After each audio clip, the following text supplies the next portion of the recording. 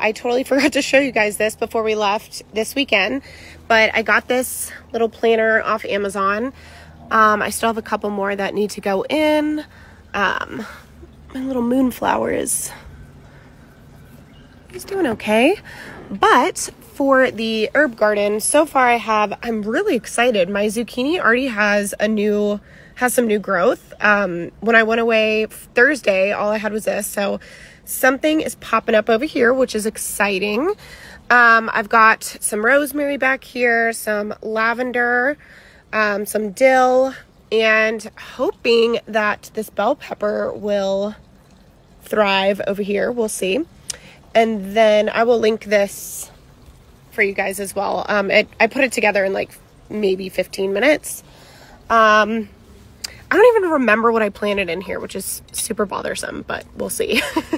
and then here I have a teddy bear sunflower. I'm really hoping that this does well because these are the coolest sunflowers. They're almost like a big fluffy sunflower.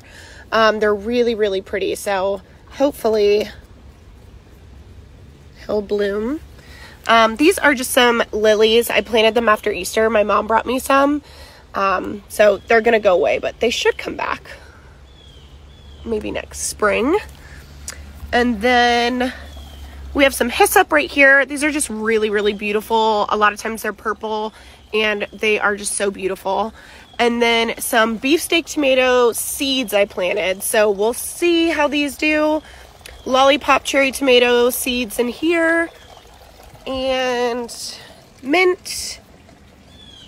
I've got some snapdragons that are coming back. And what else?